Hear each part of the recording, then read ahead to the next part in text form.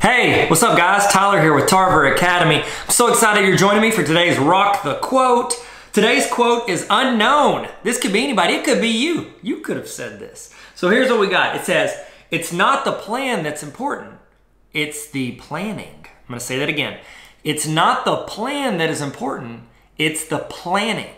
Man, if anybody has ever done a project or worked on something with a team or you've done something and developed it, it's not the release date that matters. It's all the preparation and planning that led up to that. How many times have you worked on something and you've had these big grand ideas of what would happen when you released it or when you posted that photo or when you made that comment or when you put in that test? Um, we had these big ideas of, oh, this is going to be incredible because I'm going to do this.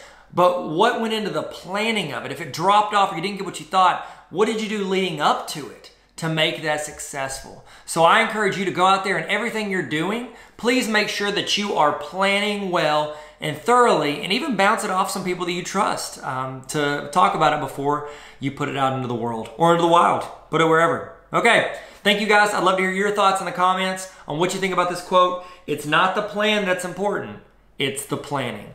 Thank you guys. Y'all be great out there. Peace.